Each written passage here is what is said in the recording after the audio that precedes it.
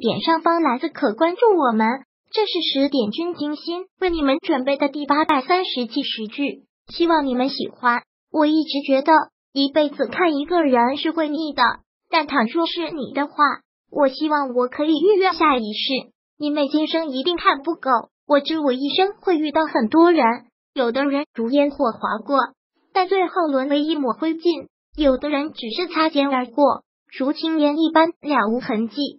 对于他们的离开，我总能去释怀。但至于你，我从未想过你的来开，因为一动这个念头，不禁就心的疼。